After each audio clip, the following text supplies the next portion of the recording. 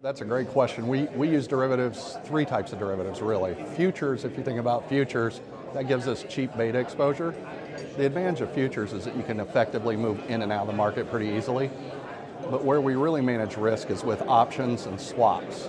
So we typically use risk reversals, which is selling an out of the money put and then solving for the call buying at the money. So what that does is put skew into the portfolio. So you have 5% say downside protection and usually we get accelerated upside, so maybe 115% of the upside by those structures. Then the other way I would say that we really manage risk in the portfolios with swaps. So there's a number of banks, SocGen for instance, uh, Credit Suisse, that will have all kinds of risk management swaps.